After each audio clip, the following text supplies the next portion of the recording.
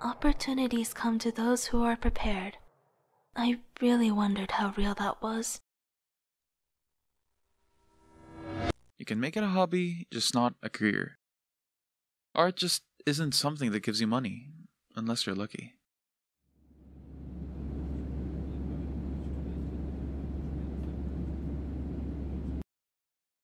Amelia, your mother is gonna be so mad.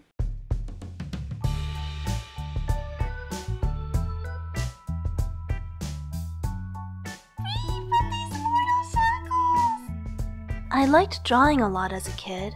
I wasn't the best at the time, far from it. But with me being one of the few artists in school, I genuinely thought I was sensational, a famous artist to be. Oh, corporate gods, take me as your ever loyal slave!